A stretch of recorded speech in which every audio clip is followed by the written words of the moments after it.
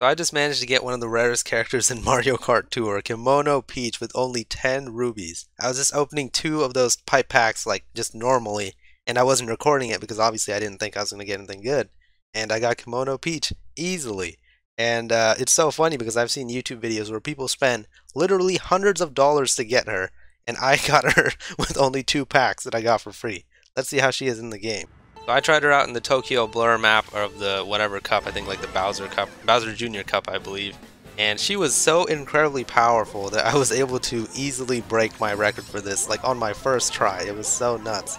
And I'm doing post commentary right now because I haven't really figured out how to get my mic working on that thing. But I will eventually, don't worry about it. And I might even start uploading more Mario Kart Tour gameplays. I definitely have to now, now that I have one of the best characters in the game. but yeah, it was so easy to rack up points with her as you can see on the combos on the top right, that's like the most important thing in this game to get more points. And uh, I was easily getting so many points.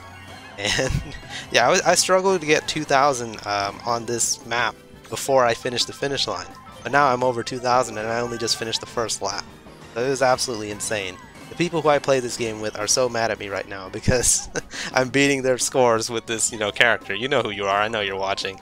And uh, yeah, it's crazy that um, people have spent one, like hundreds of dollars to get this character, and I just casually got her in a pack.